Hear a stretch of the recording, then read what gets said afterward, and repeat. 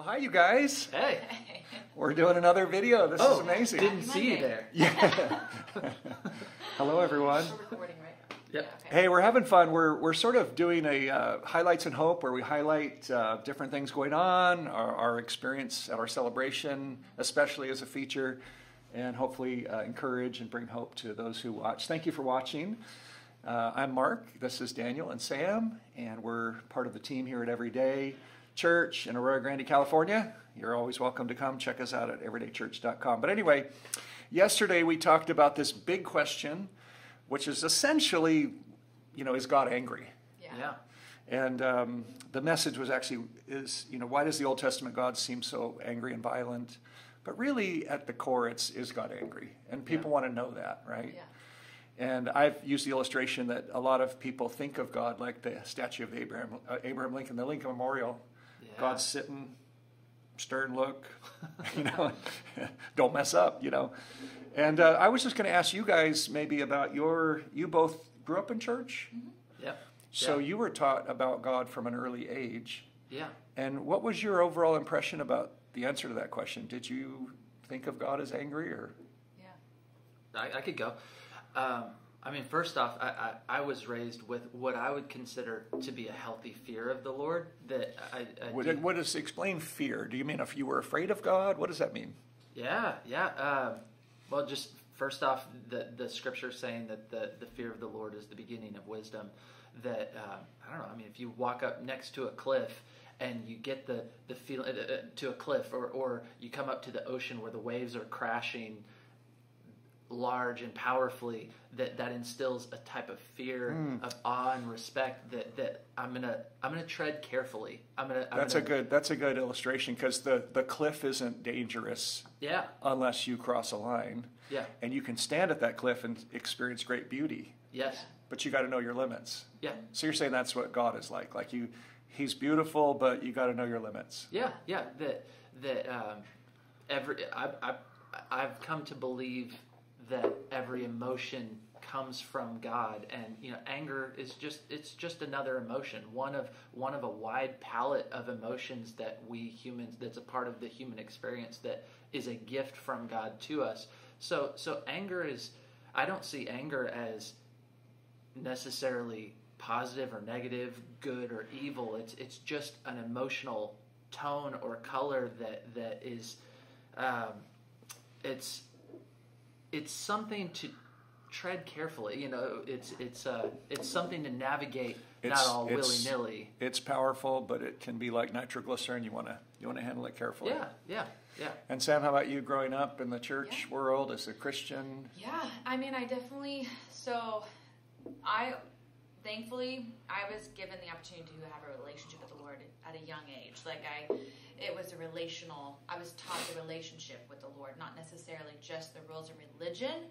But the caveat there is I was and still am really prone to feeling shameful or very guilty. So even like as a kid, I would feel very guilty for something that my mom would be like, "It's okay, no big deal." so that's not necessarily your view of God. That's sometimes a personality trait. Yeah, but it caused me to have a unhealthy fear of God, even. Mm.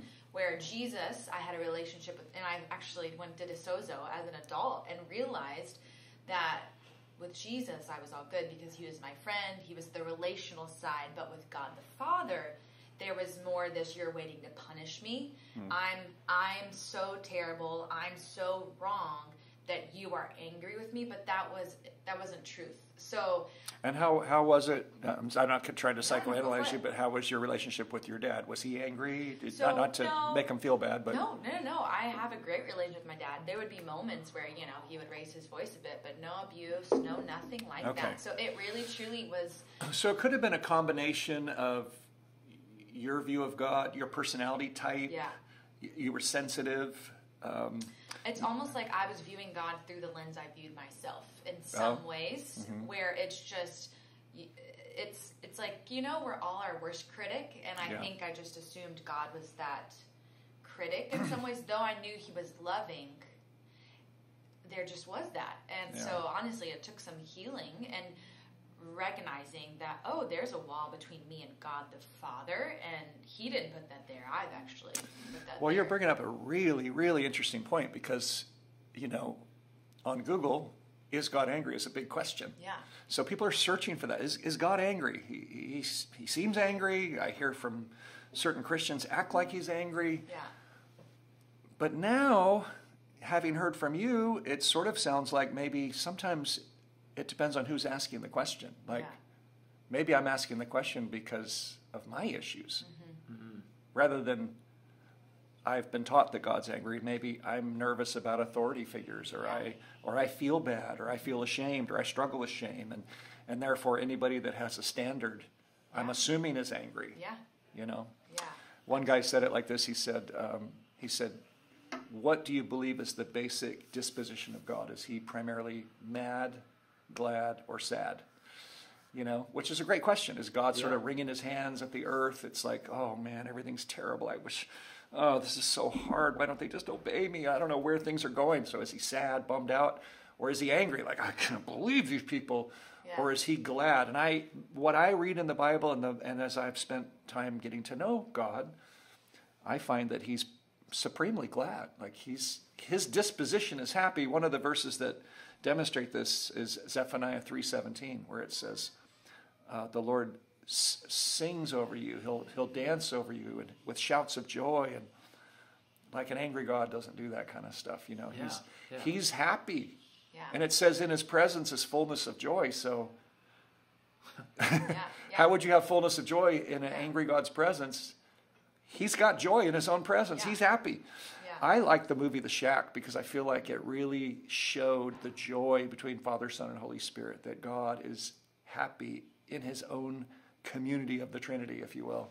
Yeah. And that's a beautiful thought because then I, becoming a Christian, is really being inserted into the community of the Trinity, which has got tremendous joy and tremendous peace and tremendous honor. And I get to be in the middle of that. yeah Yeah. That's what it means to be a Christian. Like, Yeah. that's a whole different dimension than I have to obey some Yeah. rules and disappoint an angry God. Mm-hmm. Well, and honestly, becoming a parent changed my. I mean, just odd. And within seconds, was like, oh my gosh, if God was willing to give His Son, I can't imagine. Like that is the most valuable, precious thing to me. I can't imagine being willing to give my child on the hmm. behalf of someone who was hurting me. Yeah. You know what I mean? On Well, God behalf- so loved the world when the world wasn't loving God. Yeah, yeah. He loved So- us before we responded to Him. Yeah, so it's like, no, an angry God does not send his one and only son to die. Yeah. You know, and out of love. And so so there there may be emotions of of anger because I know part of part of that is there is a scripture that talks about God was angry. There's scriptures that says God was angry and Yeah. but I don't believe that he's angry with he's angry with sin. He's angry just as if my kid did something wrong that I knew was going to hurt them, or if someone else did something to hurt my kid, it would be wrong for me to not be angry. It, it would be a lack of care. Yes. Like, oh yeah, that's okay, no big deal. Like, what? Yeah, no. You should be angry. That's Yes. it. So anger comes from a few different things. It comes from injustice. Yeah. It, when it's when it's selfish or, or it can be selfish, it comes from a blocked goal. So somebody stops what we're trying to do, we can become angry, right? We're trying to go down the freeway, somebody pulls in front of us, we get angry because they stopped us from going the speed the speed that we wanted to go. That can be good or bad. But um, but anger in itself, like you said, Daniel, is just an emotion amongst an array of emotions. I think the key here is what is God's basic disposition. And, and what I see is his basic disposition is he's good, he's happy, but he definitely gets angry. And I was trying to say that yesterday Yeah. in the message that that there are, you know, that that we are really big in our culture on tolerance, you know. Yes. And and that's a good thing because it's it's stopped bullying, it's it's caused us to accept ourselves and accept others. And so tolerance has been amazing, but sometimes too much of a good thing can be a bad thing. Yeah. And I find that sometimes what people do is they say, well, hey, this is, there's a problem, let's put more tolerance on it. When in reality, we should say, no, that's evil and wrong. Like there are religions that they call themselves peaceful, but they do such terrible things to people. We shouldn't tolerate that. We should say no. We should object to that and say this is not okay. But sometimes in tolerance, we just accept weird behavior. We accept danger, th- dangerous things that happen to our kids. Yeah. Uh, and so, yeah, I, I, I think that I was trying to use parenting as an example that good parents are going to feel anger at times, as they should. Yeah. You know, when you're you you have two children and your your son is bigger and stronger and he beats up on your daughter who's smaller and more fragile. Not that I'm not saying a man woman thing, but just that's just the situation. You're going to be angry with your son. Like, what are you doing? Yeah. You can't do that. Don't do that. Yeah. And maybe he's not listening to you till he sees that you're angry and that there could be a consequence, which is the fear of a parent that's healthy.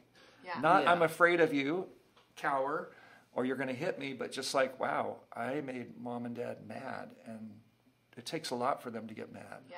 there's there's a level of response that is appropriate that, that is the it's the appropriate and proper response given what given the situation given what's happening and i think that's Right. that that's tied into the justice of god that Yeah. that that he wouldn't be just he wouldn't be just if the scales didn't balance out in the end and and it's it's the, the this is where the fear of the lord comes back in because it's not it's not according to me what i feel is the right uh, the right to wrong, uh, you know, the, the right balance to, to, to right the wrongs, Yeah. the injustices that are done. It's it's he's the one who holds the scales, and he's the one that will right the scales. And so the fear of the Lord part, that kind of to just, I, I guess, kind of bring it back home and, and, and tie in what I was saying earlier is that that like when those scales are righted, I I fear, like, I want to be on the right side of the scales. Because you and I don't fully know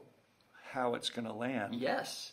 I mean, Yeah. with there, I believe we can be assured of our salvation. I don't mean that, but I mean, you know, our works are going to be judged. Mm-hmm. You Yeah. know, and we don't know exactly. I mean, we have some indicators, obviously, but we don't know exactly how God's going to see everything, Yeah. and it should produce a fear of not going all the way up to the line every time, but staying clear of the line. Yeah. Saying, "I want to be in the safe zone." Yeah.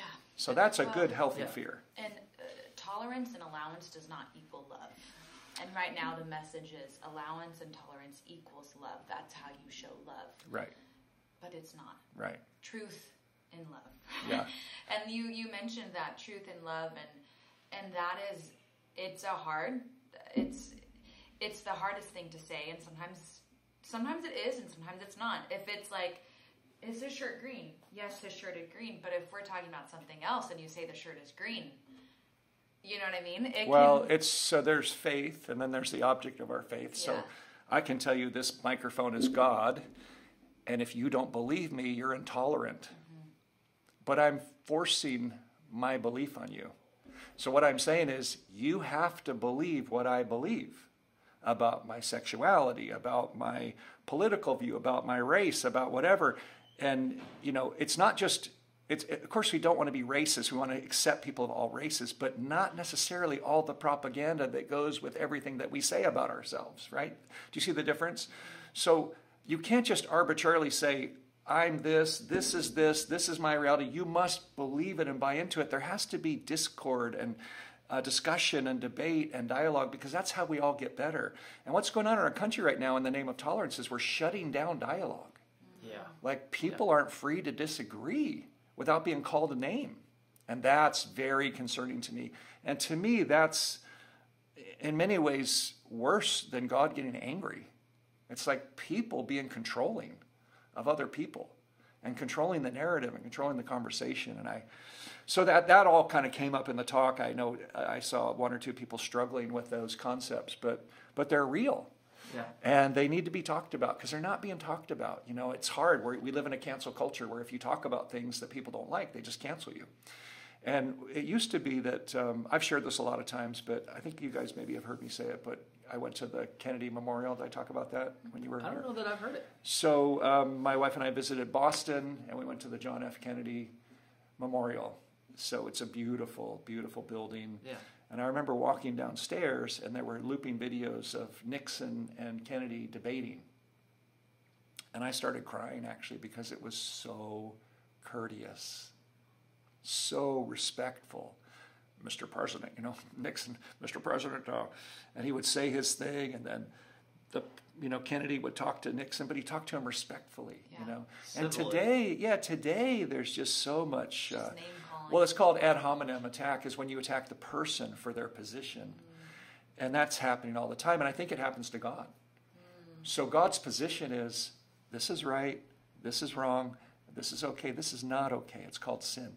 And people attack God and say, He's Victorian, he's intolerant, he's this, that. It's like, actually, that's just your viewpoint. Yeah. Can God actually say who He is? Because He says He's loving, kind, and merciful and good to a thousand generations, but He also deals with evil. So it doesn't make Him angry, it makes Him healthy. Yeah. So I think sometimes Yeah. our, our definition in the cult in culture have changed so much that I think now we're starting to call, like we talked about earlier, we're starting to call good bad, bad good, wrong right, right wrong. This is that. This and, and it's it's it's mind numbing because in because the media supports certain narratives and doesn't give room for other narratives. So there's no counterbalance to these statements that are being made that are just absolutely ludicrous. Yeah. But there's no chance for people to have healthy dialogue and debate. So I think tolerance is a beautiful thing when it's done well and when it's in the right amount of proportion, but it's not the highest form of love. Yeah. It's a part of love. But sometimes the highest form of love is no, mm-hmm. you're wrong. Yeah. That's not okay. It's not just whatever goes is we just have to take it and accept it and be excited about it. No, that's not. That's that's good up to a point and then there has to come a time where we just blow the whistle. Yeah. You know? I mean it's a little bit to me like an intervention. Like if somebody's addicted to drugs and alcohol and you've tried the come alongside, I want to be your friend, just diversion, what if we do this Yeah. instead? Yeah. You've done all of that for years and years and years and finally the family with fear and trembling says "We- we need to confront this person. Yeah. And almost every time the person gets angry, cusses, name calls, and makes tries to make the people doing the intervention feel horrible. Yeah. And I think that's sometimes what happens to the Christian God. Like he's a beautiful God who gets a bad rap because our culture's kind of weird right now. Yeah. Honestly. Yeah. Yeah. And so uh, the culture's been weird in the past in other ways, but right now those are some of the weird things that are going on. Is that people don't want anyone to tell them no. They don't want anyone to have a truth that could be different than their truth. In other words, we don't want objective truth. We don't want any standards. My truth is the truth. That's all I have to worry about, which isn't true. I always like to use the illustration of a four-way stop. You know, what would happen Yeah. if people said my truth at a four-way stop? my truth is I need to get to I need to get to work, so I'm not stopping. I'm in a hurry and I can't be late. So my truth is I'm going through that stop. And the other one says my truth is I need to go to the hospital. I'm not feeling well. I don't have time to stop for this stop. You know, and there's four people with their truth, Yeah. and then there's a, a fatality crash, a four-way crash. You know, Yeah. you have to stop, even though you don't feel like you should have to, Yeah.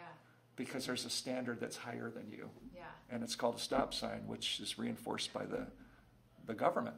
You know, so things like that. Anyway, Yeah. any other thoughts just about that? And then I want to switch to the Yeah. other part of the message, which was about hope. Is about Yeah. Hosea, and but any other thoughts about? I guess I just have one question. So, if we were to sum it up in one sentence for you, is God angry? Answer being Absolutely not. As a person, as a disposition, he's happy.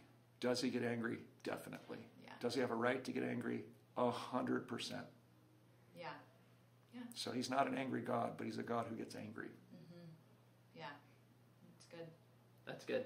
Is that good? Can we move on? Yep. With, yep. Okay, so then the other part you were saying to me earlier, Sam, that you really appreciated uh, that because I what happened was for those of you that are watching, if you weren't with us um, at our service on Sunday yesterday, uh, I was in prayer actually before the service, and I felt like the Lord was like, "Don't just give that message. You need to give another message about hope."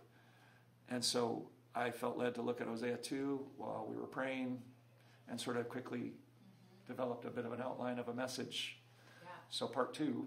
And you were saying you wish I would have talked more about that. Why did why did you say that? Well, it just, I mean, it felt really. I know that's such a funny. It's like, is God angry? no, he's not. But he, and then hope, you know. But it did feel very timely, and I forgive me, I can't remember the four that you went down. Do you remember? Uh, I think the first one was reality, which like you know because Hosea starts with God told him to marry a prostitute, Yeah. and she wasn't a great gal, and it was hard. So reality was hard to face for Hosea and Gomer. Gomer's his wife, the prostitute. But then by the time you get to ta- chapter two, uh, I think think it was restoration. Is it There was either respond. Restoration, repair, respond. res- respond? Uh, or maybe it was respond. No, respond came after restoration. Okay. It's Yeah. like restore, respond, and then um, I don't know. There, wa- there, I'm missing one. Yeah, Yeah. that's okay. Um, but overall, it just felt like a timely word, a hope-filled word, and a um, I would say a timely word specifically for every day. That there was this moment of reality. Okay, this is what we can see, but there's always this reality of what we cannot see, and God does not always make sense. The way He does things. I mean, if we were to play that story now, I think we, if if that person were to come to us and say, "This is my plan. I feel like God told me to marry this prostitute." Well, does this prostitute want to give her life to the Lord? No, she does not. we would all be like, "Do not get married." Eh, Yeah. No way, you Yeah, know. Yeah. So that does it doesn't make sense at all. It doesn't make sense at all. But yet, it's one of the most beautiful stories at the end of the story. It's Yeah. such a beautiful like, oh my gosh, we're never too far gone. God always is chasing after us, running after us, and His ways are so much higher than our ways and our thoughts. Because had He listened to probably even the people around Him, they would have been like, divorce her. She's gone. You know what I mean? I don't. Or even don't know. even don't even marry her, like you're Yeah. saying. If they went to premaritals, they would not have matched up. Yeah, yeah, exactly. You know, um, and so I just that story specifically is so it's it's sobering at the beginning because it's like, oh man, that's really sad and terrible, and but then as the story progresses, there is so much hope and beauty in it, and even this the relationship with um, is it Israel, right? Yep. Yeah, how God relates that to Israel and saying, "This is Israel to me." Yeah. and I'm going to restore her beauty.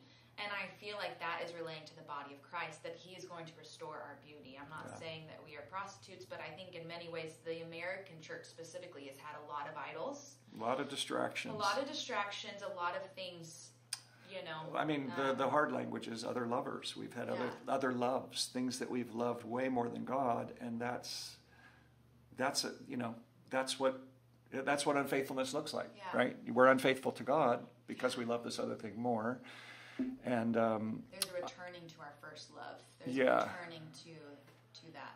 Yeah, and I think it's it's a beautiful thing because the the verse that really got me was where it says that um, I will give to her for the valley of Achor a door of hope. Yeah. So the word Achor means trouble. So for the and valley, you know, you go through a valley, you know, it's not a moment, you know, it's it's a season.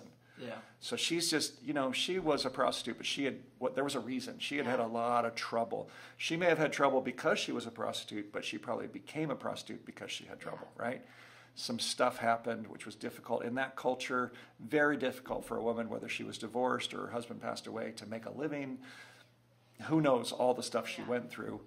And what God was saying wasn't so much you're bad, you've been a prostitute, but like, hey, I'm gonna I'm gonna take all this trouble and I'm gonna turn it into a door of hope. Mm-hmm. And then this next verse says, so that she will sing again. So that's an mm-hmm. amazing like hope. You know, hope has taken root in your heart when your song comes back.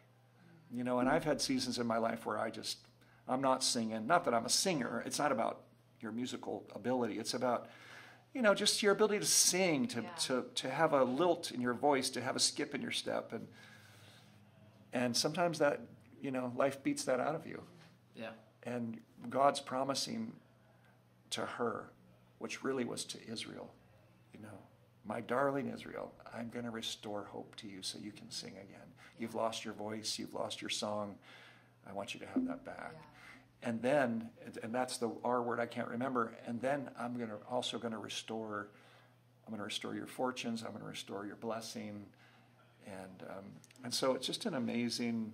And I think that the reason I felt like the Lord wanted me to say that, even though it may have felt a little disconnecting from, is God angry? Okay, hope is because I think it's hard just to have messages on, you know, what's the series called that we're in? Uh, Jesus. Jesus and hard questions. We can't just get answers to our questions. We need our hearts so that our minds can have rest like okay now i feel like i have an answer Yeah. but our hearts are still they need hope Yeah.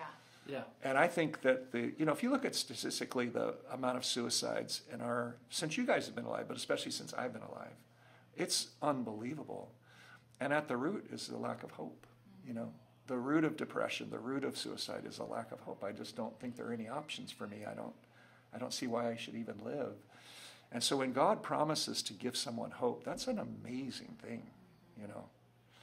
Yeah. And uh, so anyway, that's I think yeah. Yeah. Especially being a worshiper, I'm like yes, sing, because not not just because of I like to sing, but there's so much power. And David came up and gave that prophetic word about just the church rising up in in Yeah. worship and it being a battle cry. yeah, And that's the beautiful part of it that this song that comes out, it can be restorative to our own souls, but it can also be such a like weapon, such Yeah. a weapon against Yeah. the enemy, such Yeah. a pushback to where I genuinely there are moments in worship where I am like praying and interceding that as I sing out, the the, the sound waves that God would be in it. You know, He spoke and light became. He Yeah, spoke things into being, and so we can sing things, yeah, yep, and He can carry those sound waves and supernaturally use them to even bring healing, to bring hope.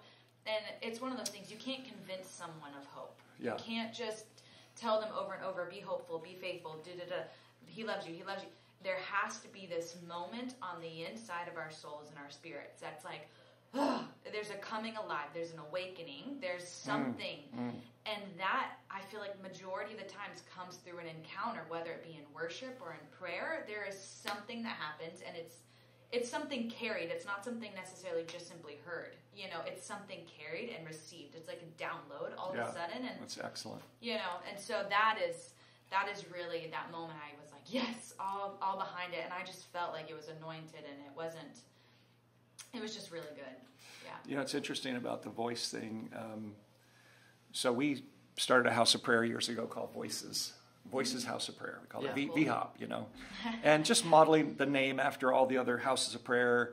Uh, but really, what we were trying to do was communicate that Voices is a, is a movement. It's, it goes back to the priesthood of all believers. It's a movement of God's people. And, Yeah. and where I got it from was I was up at four in the morning one morning with the Lord, and I was reading Acts chapter four, where Peter and John had been arrested for healing the guy, and they just got out of uh, they just got out of jail, and it says they came to wherever the church was meeting in somebody's house or in a building, and they Yeah. it says they raised their voices together and said, and then there's one prayer recorded, which is fascinating. So everybody had a voice, but only one prayer was recorded. It's a lot like worship. Everybody has a voice, but we sing a song yeah Yeah. or there's a leader or, or a band or whatever. And so it can be a both and. It's not having a leader doesn't de- negate the people.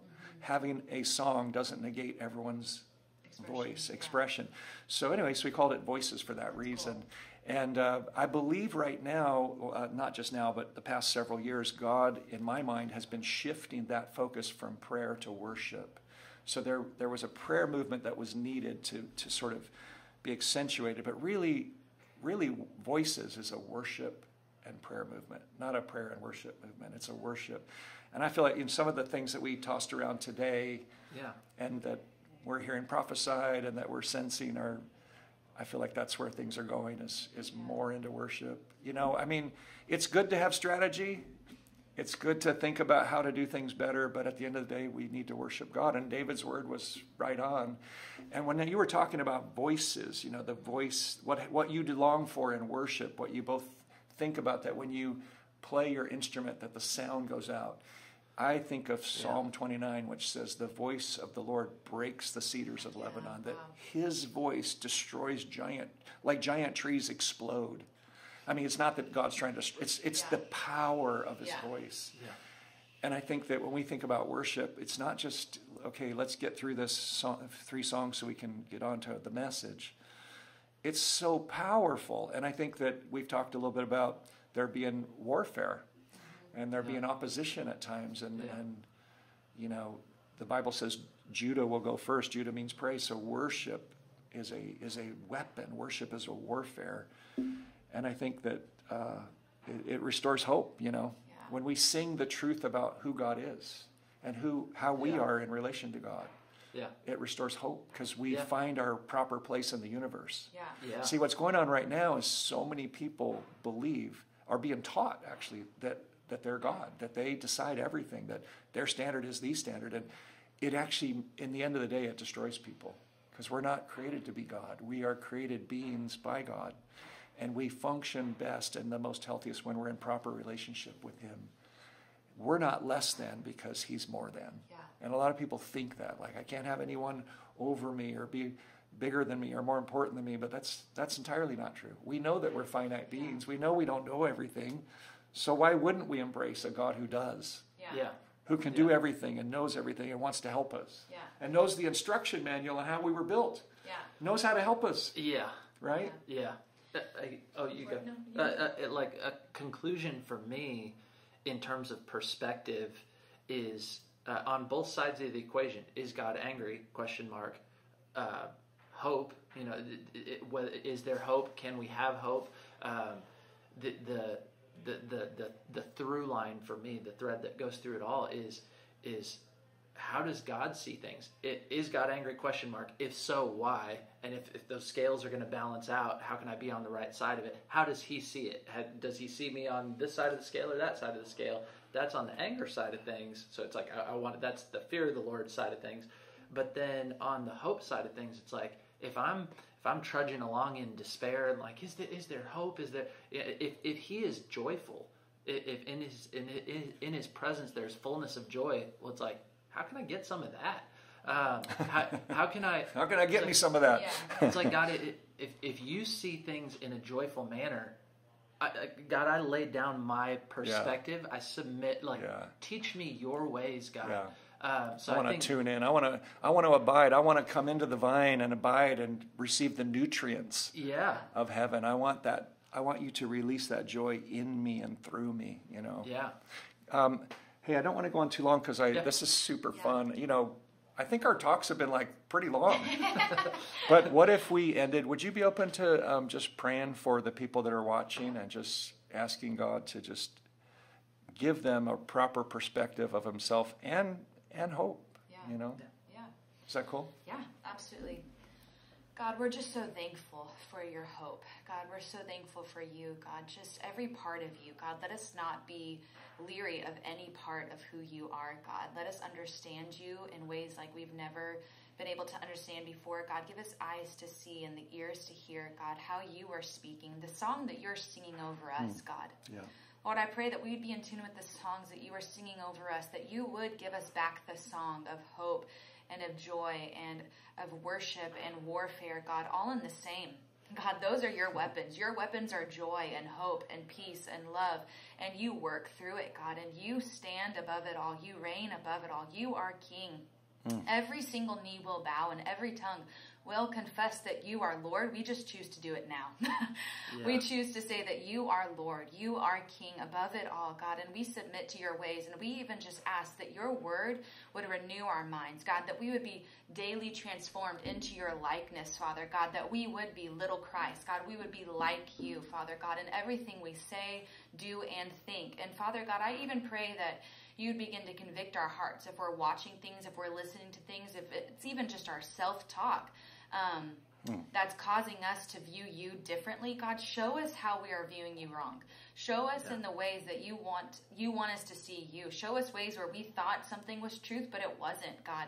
And i thank you father god that you're giving us just even a boldness and a courage and a strength that is not on our own foundation but it's on the foundation of you and your word. And through everything god let your love be be shown and be seen more than anything else hmm. god. In jesus name. Hmm. Amen Amen. It's good stuff. Yeah. Thank you. Thank you for watching. Thank you for being a part, and we'll see you next time.